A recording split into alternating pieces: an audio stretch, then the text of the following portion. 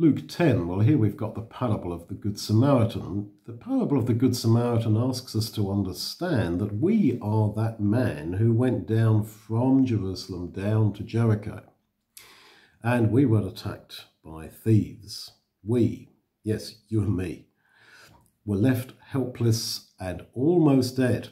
And the Levite and the priest, representing the law of Moses in Judaism, they came near to us, but they walked on unable to help us. And then there came the Samaritan, and he clearly represents Jesus. He poured in oil and wine, just as Jesus gave us his spirit, represented by the oil, and his blood, represented by the wine.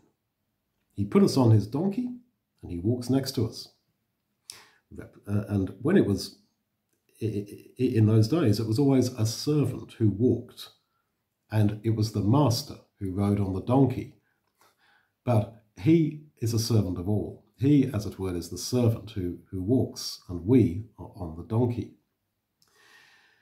So he was our servant in his death on the cross and in his life for us.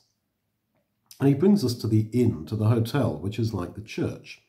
And he gives the innkeeper two, two pennies, promising, I will come again just as Jesus promised that he will come again at his second coming. Now, in those days, a man worked for one penny a day.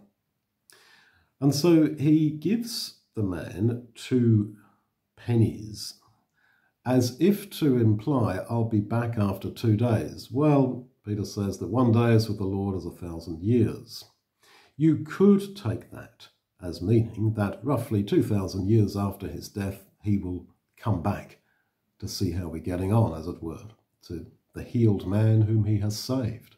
So it fits, doesn't it, very, very nicely, fits together wonderfully. So we are, as it were, that man in the inn, in the hotel, waiting for Jesus to return. So the church, the inn, is a hospital for sinners. We shouldn't be surprised if we find other people recovering with us who are also sinners, beat up by sin. And the power of this parable, I think, depends on realizing that we are really helpless sinners, totally dependent upon the Lord to come and save us. And unless we're convicted of our sin and the seriousness of our position before God, then the good news of Jesus, his coming to our rescue, this will not be such wonderful news for us. And Jesus ends the parable by saying, You go and do likewise.